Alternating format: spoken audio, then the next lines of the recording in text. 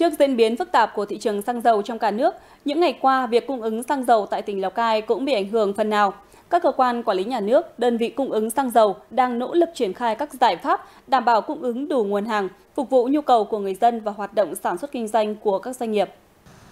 Hơn một tháng qua, cửa hàng kinh doanh xăng dầu này ghi nhận mức tăng đáng kể số lượng khách hàng. Để không gián đoạn việc mua bán xăng dầu, đơn vị thường xuyên kiểm tra lượng hàng trong bể chứa, có kế hoạch điều tiết kịp thời.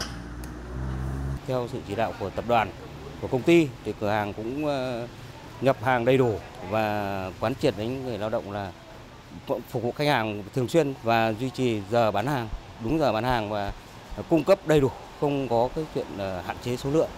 Nghĩa là theo nhu cầu của khách hàng vẫn phục vụ đầy đủ.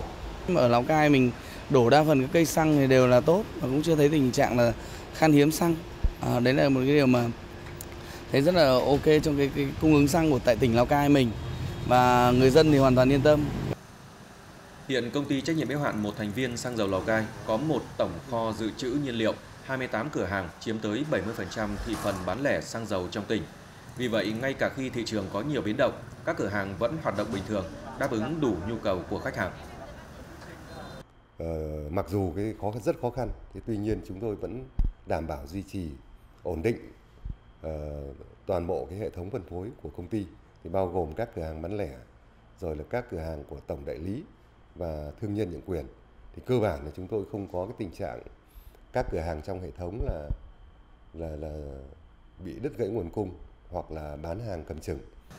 Để giữ ổn định việc cung ứng mặt hàng xăng dầu, bảo đảm quyền lợi của người tiêu dùng, Sở Công Thương, Cục Quản lý Thị trường tỉnh đã vào cuộc quyết liệt tăng cường giám sát kiểm tra hoạt động của các cửa hàng bán lẻ xăng dầu trên địa bàn, kiên quyết xử lý nghiêm hành vi vi phạm.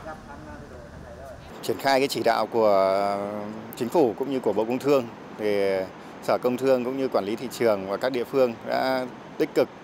kiểm tra, giám sát tình hình cung ứng xăng dầu đúng theo cái quy định của Nghị định 83 và 95.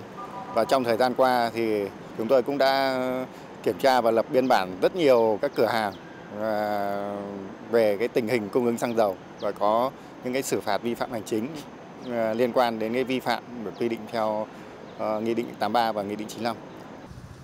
Bên cạnh sự vào cuộc quyết liệt của các ngành chức năng, người dân cần bình tĩnh sử dụng xăng dầu tiết kiệm, hiệu quả, không nên mua tích trữ xăng dầu gây mất cân đối cung cầu cục bộ và mất an toàn phòng cháy chữa cháy.